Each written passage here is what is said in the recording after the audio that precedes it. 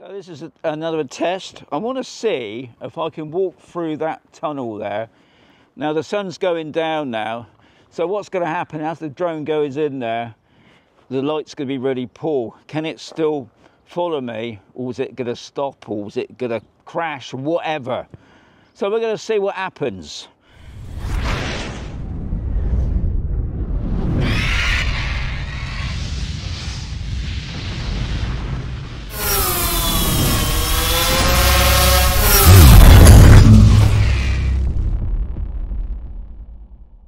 So what I've done, I've got the drone ready.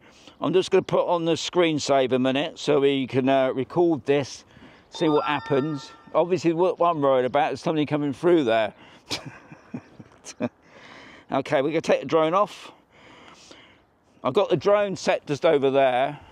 Take off. Okay, so the drone's over there. The drone's coming towards me. Okay, off we go. I'm not going to get too close to me. I just want to, what I want to do now is draw a box around me. I've got spotlight on me. I want to do active. Um, and we're going to do manual. Press go. So we'll see what happens if the drone follows me.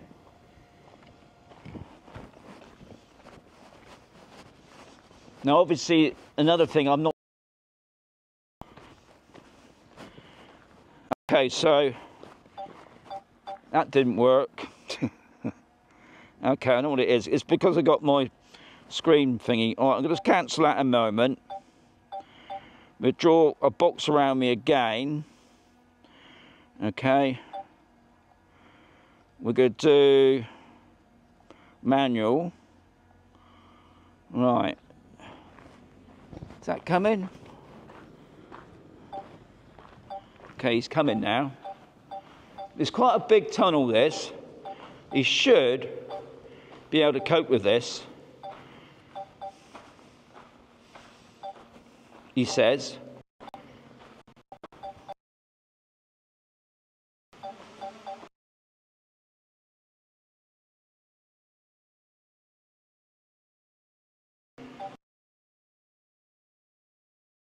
PS on that.